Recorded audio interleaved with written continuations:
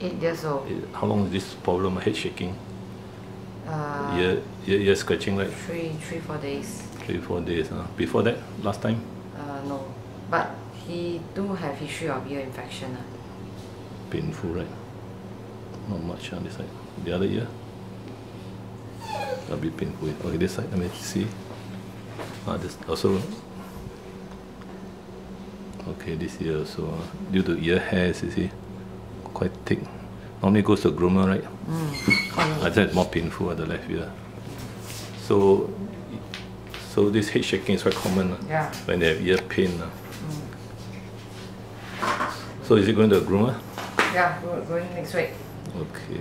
So normally they pluck out the ear hairs, uh, Yeah. and then uh, it will solve the problem for a few, few, few weeks or a few days. Uh, When it comes